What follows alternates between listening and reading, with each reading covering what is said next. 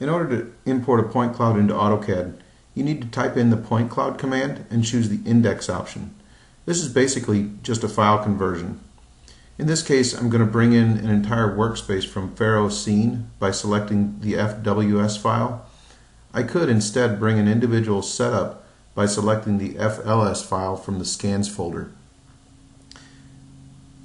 It will immediately ask for an input file name in a PCG file format.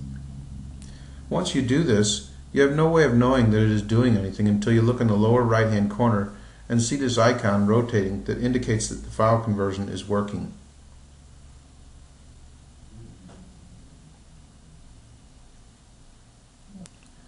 So once the conversion is complete, you can hit enter to re-invoke the point cloud command and select the attach option.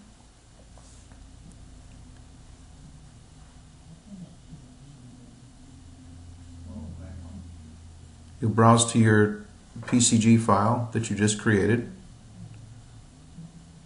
And with this, the point cloud comes in in metric, so you'll have to select uh, the proper conversion factor.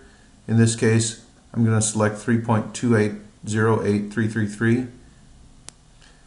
Now I can uh, zoom in and rotate around using my shift combined with the middle mouse wheel and that will uh, act as a 3D orbit.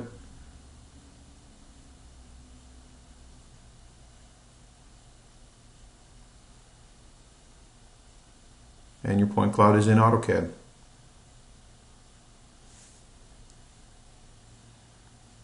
From here, these points act just like nodes, except that they're a point cloud object.